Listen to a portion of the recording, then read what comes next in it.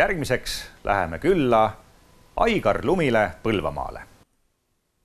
nagu rääkisid ema ja isa, et, et äh, kui keegi mängis perekondlikul üritusel pilli, et siis oli kohe minul reaktsioon muutus, et, et selline tekkis selline elavus ja hakkas nagu käed nagu tõmbama pilli järgi ja siis kadunud tädi, isa-õde siis ütles, et sellele poisile tuleb osta pill.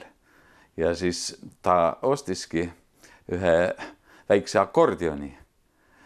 ja siis noh, ja seda ma ei mäleta, kas ma seda, kuidas ma seda mängisin või, või noh, ilmselt ikka niisama kääksutasin.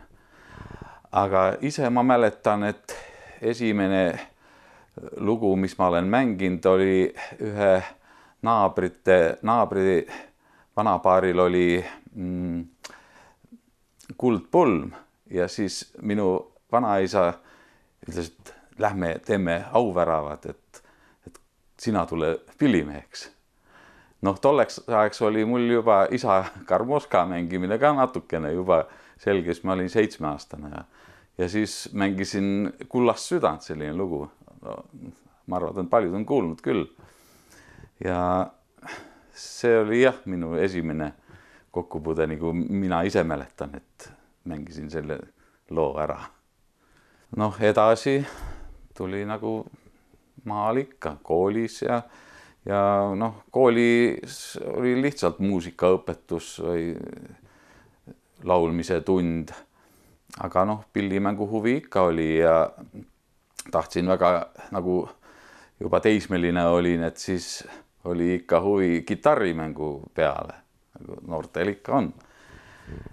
ja noh, õppisin omal käel, osteti kitarr ka, vanemad ostsid kitarri, hakkasin seda õppima, aga noh, üksi õppimist ei tulnud ikka midagi suurt välja. ja siis, kui ma läksin juba seitsmendasse klassi ja siis ma läksin muusikakooli Võrru. aga vastuvõtus kadunud muusikakooli direktor Hendrik Juurikas ütles, mis sa suur poiss selle akordioniga, tule puhkpilli, trombooni mängima. nii ma sattusingi hoopis trombooni peale. ja kui kuldane sõrmus on käes, elu särab kui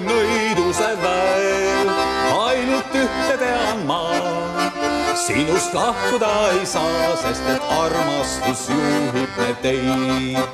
ainult ühte tean ma sinust lahkuda ei saa, sest et armastus juhib me teid.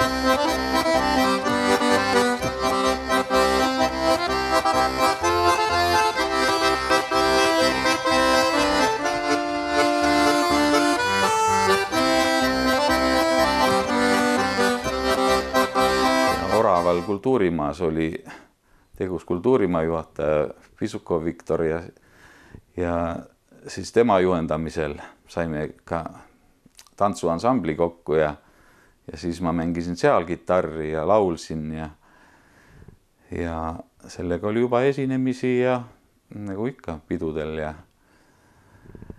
ja noh, läks aeg edasi, noh, Ants bändid nagu ikka lõpetavad ka tegevuse, tulevad muud asjad ja siis äh, oli ka siin Oraval külakapell minu praeguse naabrimehe Raivo Ojaperve juhendamisel.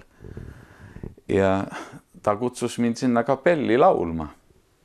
noh, pilli ma, kitarri ilmselt sinna vaja ei olnud, et noh, seal olid ka rahvuslikud pillid sellised ja siis ma laulsin ja, ja mingit trianglit või midagi ma seal lõin ka ja ja käisime ka Soomest, oli veel nõukogude aeg viisadega.